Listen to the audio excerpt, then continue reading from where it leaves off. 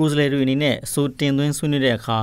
အစိုးနဲ့ပတ်သက်တဲ့ကန့်သက်ချက်စီကံချက်ကျင့်ဝတ်တွေကိုလေးစားလိုက်နာဖို့ပြည်သူ့လွှတ်တော်ဥက္ကဋ္ဌဦးဝင်းမြင့်ကအသိပေးပြောကြားလိုက်ပါတယ်။အောက်တိုဘာလ29ရက်နေ့ကကျင်းပတဲ့ဒုတိယအကြိမ်ပြည်သူ့လွှတ်တော်စက်တမပုံမှန်အစည်းအဝေးစက်တမနေ့မှာပြည်သူ့လွှတ်တော်ဥက္ကဋ္ဌဦးဝင်းမြင့်ကအဲ့ဒီလိုအသိပေးပြောကြားခဲ့တာပါ။လွှတ်တော်မှာဆွေးနွေးတဲ့အခါဥပဒေနည်းဥပဒေနဲ့အညီအစိုးတင်သွင်းဆွေးနွေးဖို့ပြည်သူ့လွှတ်တော်ဥက္ကဋ္ဌဦးဝင်းမြင့်ကအခုလိုပြောပါတယ်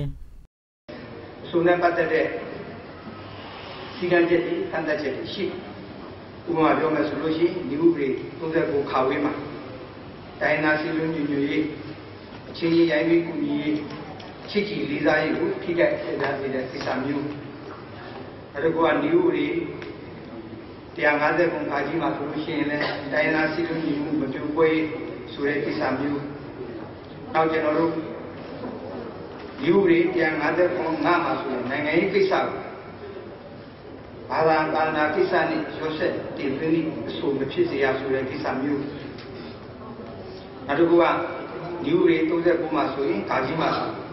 နိုင်ငံရေးပါတီတစ်ခုခုကိုခြေကားပုတ်ခတ်ပြောဆိုခြင်းမပြုရဆိုတဲ့ကိစ္စမျိုး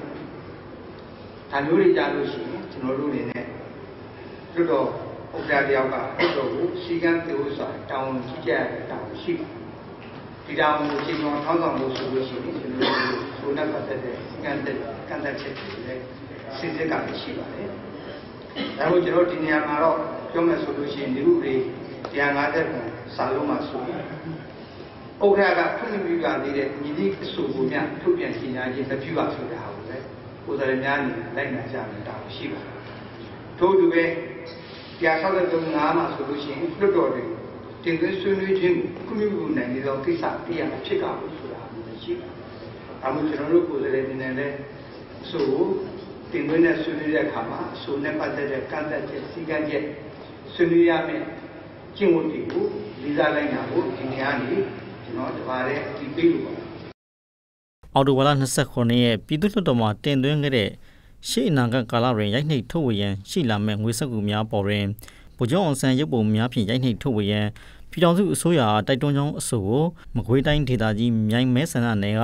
ပြည်သူ့လွှတ်တော်ကိုယ်စားလှယ်ဦးအောင်ခင်ဝင်းကတင်သွင်းခဲ့တာနဲ့2016ခုနှစ်17လပိုင်း22ရက်နေ့ကကျင်းပတဲ့ဒုတိယအကြိမ်ပြည်သူ့လွှတ်တော်တတိယပုံမှန်အစည်းအဝေးပြင်စမနေ့မှာမကွေးတိုင်းဒေသကြီးတရက်မဲဆန္ဒနယ်မှဥက္ကဋ္ဌမြင့်ကငွေဆက်ကူအားလုံးကိုဗိုလ်ချုပ်ပုံနဲ့အသေးရိုက်နှိပ်ထုတ်ဝေသုံးဆွဲသွားဖို့အစီအစဉ်ရှိမရှိဆိုတဲ့မိကွန်းတို့အကြောင်းရှင်းလင်းပြောကြားခဲ့တာပဲဖြစ်ပါတယ်။လွှတ်တော်အနေနဲ့ဆွေးနွေးပြီးသားအကြောင်းအရာချင်းသဘောတဘာဝချင်းတူနေမယ်ဆိုရင်တော့လက်ခံမှာမဟုတ်ဘူးလို့လည်းဦးဝင်းမြင့်ကအခုလိုပြောကြားခဲ့ပါတယ်။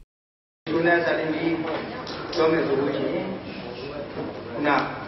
ဆိုရှင်ဆွေးနွေးပါတယ်မှာပါပါတယ်။တည့်ရဲ့မဲဆန္ဒနယ်ကဥက္ကမီယမြေဘူးမင်းမြန်ခဲ့ဘူးလားလို့ရှိတယ်ပါပါပါတယ်။ကျွန်တော်တို့အနေနဲ့မြေဘူးမင်းမြန်ပြီးတဲ့ကိစ္စကိုမြေဘူးဖြစ်နေတယ်။အဆိုဟာဆွေးနွေးပြီးတဲ့ဆိုတရားတစ်ခုမဟုတ်လို့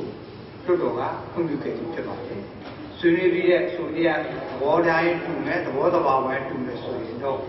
ကျွန်တော်တို့ခွင့်ပြုမှာမဟုတ်ပါဘူး။ဒါကိုကိုယ်စားလှယ်များအားလုံးလည်းသိစေချင်ပါတယ်။ပြည်သူ့လွှတ်တော်ဥက္ကဋ္ဌဦးဝင်းမြင့်အနေနဲ့လွှတ်တော်ကကိုယ်စားလှယ်တွေနဲ့လာရောက်ဖြေကြားတဲ့ဝန်ကြီးဌာနကတာဝန်ရှိသူတွေရဲ့အားနည်းချက်တွေကိုလည်းမကြာခဏဆိုသလိုထောက်ပြပြောဆိုခဲ့ပူပါတယ်။